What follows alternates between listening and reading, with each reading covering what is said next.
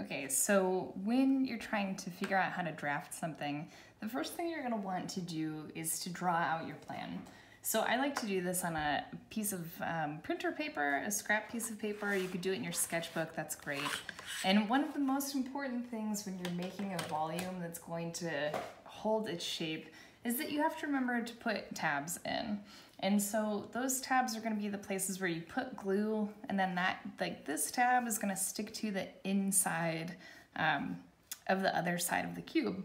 So we know a cube has six sides. In this case, uh, we know that each side is going to be three inches large, um, or long rather. And then I have my tabs listed as three quarters of an inch.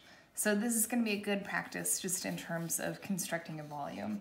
Once you have this all set up and you kind of have your game plan, what you're going to do is actually draft, uh, draft that to scale on your Bristol paper. So you can't see the whole thing in one shot here, but what you can see is that it's all set up. And the main thing that you have to remember in this case is just which lines you're gonna actually cut and which lines you're going to score. Um, from here, we're gonna cut everything out and then score the edges and make a cube. One small note, you wanna make sure as you're drafting that you always have a really sharp pencil.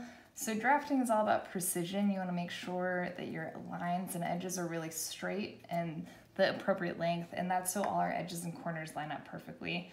A sharp pencil is gonna do a lot of good to help you um, achieve that.